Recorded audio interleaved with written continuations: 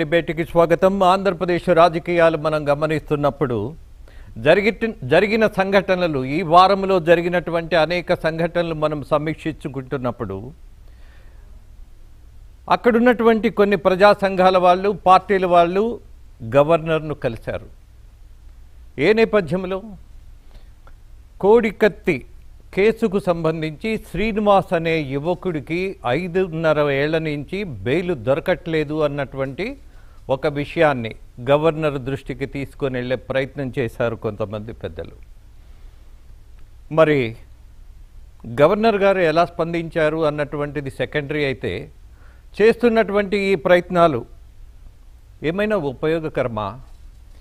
ఏం చేస్తే ఆ- కుర్రవాడు బయటికి వస్తాడు అన్నటువంటి ఆలోచన ఐదున్నర సంవత్సరాల నుంచి చేయలేకపోతున్నామా? ఇదొకటే కాదు.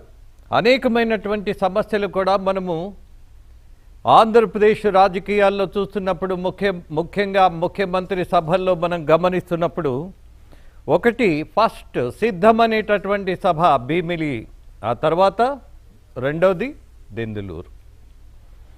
ఆ సభల్లో ఆ సంఖ్యను చూసినప్పుడు అద్భుతంగా జనం వచ్చేశారు అన్నటువంటి అభిప్రాయాన్ని వాళ్ళ వాళ్ళ పత్రికల్లో పత్రికలు అనలేను కరపత్రికల్లో రాసుకుంటూ ఉన్నటువంటి వైనం చూసాం ఆఫ్ కోర్స్ రాసుకుంటారు. వాళ్ళ పత్రిక కాబట్టి వాళ్ళకి స్వేచ్ఛ ఉంది కాబట్టి వాళ్ళ ఆలోచన తీరు అదే కాబట్టి అది అబద్ధమైన ఏదైనా అడ్డగోలుగా రాసుకునేటటువంటి తత్వం వాళ్ళ కరపత్రికల్లో వాళ్ళకి స్వేచ్ఛ ఉంటుంది. ఫైన్ కానీ జనం వచ్చారా? లేక వాళ్ళని తీసుకొచ్చారా? తీసుకొచ్చిన దాంట్లో భయపెట్టి తీసుకొచ్చారా? లేదా ఏదైనా ప్రలోభ పెట్టి తీసుకొచ్చారా? ఇవన్నీ ఆ సభకి వచ్చినటువంటి జనాలకు కూడా తెలుసుగా. ఫోర్సుబుల్గా కొంతమంది తప్పు చేయ చేయవలసిన పరిస్థితి ఆంధ్రప్రదేశ్ రాష్ట్రంలో ఈ రాజకీయాల్లో కనిపిస్తోంది. కారణం ఏంటనంటే దాడి జరుగుతుందేమో మనము రాము అని అంటే మనకేదైనా ప్రమాదం వస్తుందేమో మన పిల్లల మీద దాడి జరుగుతుందేమో అలాగే బాపట్లలో ఒక పిల్లవాడు అక్క మీద దాడి జరిగిన విషయాన్ని ప్రజల దృష్టికి తీసుకొస్తూ అక్కడ ఉన్నటువంటి స్థానికులతో కలిసి మాట్లాడినందుకు పెట్రోలు పోసి తగలబెట్టినటువంటి సంఘటన చూసిన తర్వాత ఐఎమ్ సారీ ఆ సంఘటన చూసిన తర్వాత చాలామందికి ఒక భయం ఏర్పడుతోంది. ముఖ్యంగా మధ్యతరగతి కుటుంబాల వారికి. అలాగే అనేక విషయాలు. ఈ వారంలో జరిగినటువంటి సంఘటనలు ఇవాళ ఉన్నటువంటి ముగ్గురు అతిథులకే వదిలేస్తున్నా. ఏం చెప్పాలి? ఎలా చెప్పాలి? ఈ ప్రజలకు ఏం సమాచారం చేరవేయాలి? మీకే ఆ స్వేచ్ఛ ఇస్తున్నా. ఎవరు ఆ ముగ్గురు ఇవాళ మనకి అందుబాటులో ఉన్నది? పిల్లి మాణిక్యాలరావు గారు టీడీపీ అధికార ప్రతినిధి అలాగే లాయర్ రజనీ గారు జనసేన అధికార ప్రతినిధి ఫారూక్ షుబ్లీ ఎంహెచ్బిఎస్ రాష్ట్ర అధ్యక్షులు. ఎవరితో ప్రారంభిద్దామనేది చర్చనీయాంశం కాదు కానీ బట్ ఈ వారంలో జరిగినటువంటి కొన్ని సంఘటనలు కొన్ని సమావేశాలు అలాగే చాలా చిత్రంగా కామెంట్ చేస్తున్నటువంటి ఒక విషయాన్ని మీ దృష్టికి తీసుకొస్తా. పచ్చ మీడియా అని మాట్లాడే వాళ్ళకి కామెరలు వచ్చాయా అన్నటువంటి అనుమానం వస్తోంది. నిజానికి ఏదో ఒక స్టాండ్ తీసుకొని అబద్ధం రాసేస్తే ప్రజలకు కనీసం విఘ్నత ఉండదా? ఏం రాస్తున్నారు ఎందుకు రాస్తున్నారు అన్నటువంటి ఆలోచన వాళ్ళల్లో కలగదా? ఈ రాష్ట్రంలో ఉన్నటువంటి ప్రజలందరూ గొర్రెలుగా బతికేస్తారా? ఏది పడితే ఎలా పడితే రాసేస్తే కూసేస్తే జనం నమ్మేసేటటువంటి దశ ఉంటుందా? అసలు ఈ ఆంధ్రప్రదేశ్ రాష్ట్రంలో మనుషులు ఉన్నారు అన్నటువంటి విఘ్నత విజ్ఞానం అలాగే బాధ్యత పాలకులకు ఉన్నదా లేదా మరొక విషయాన్ని కూడా పచ్చ మీడియా అని మాట్లాడుతున్నటువంటి వాళ్ళందరికీ ఒకే ఒక హెచ్చరిక. రాజకీయ సభల్లోనూ రాజకీయ నాయకులు మాట్లాడుతుంటారు కమాన్ దమ్ముంటే రా మాట్లాడుకుందామని.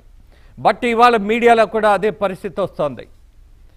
లీవ్ లెటర్స్ రాయటం రాని వాళ్ళు కూడా ఎడిటర్స్గా ఉన్నటువంటి దౌర్భాగ్య దశలో ఇవాళ జర్నలిజం ఉంది. నేను ఈ మాట అనడానికి ఏ రకంగానో ఆలోచన చేయాల్సిన పని లేదంట. అలాగే జర్నలిజం అనేది మనం రాజకీయాన్ని పవిత్రమైనటువంటి యజ్ఞంగా భావిస్తామని చెప్తాం. మరి జర్నలిజం?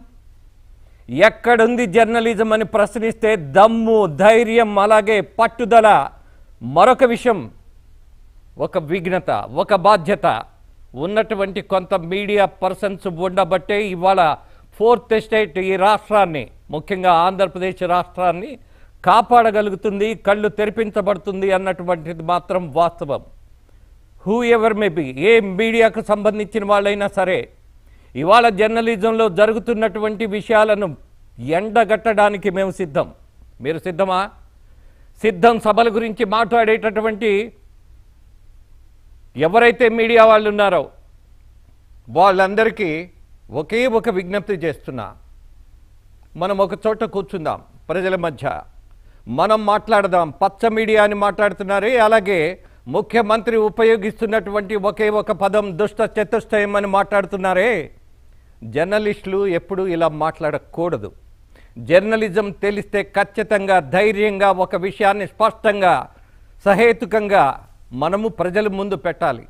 ప్రజలకు విఘ్నత ఉన్నది మీకంటే నాకంటే రాసే వాళ్ళకంటే కూసే వాళ్ళకంటే జర్నలిస్టులని అలాగే ముఖ్యమంత్రులనే మంత్రులనే మాట్లాడే వాళ్ళందరికంటే సామాన్యుడిలో ఉన్నటువంటి ఒక common sense the greatest the greatest concept అంటాను.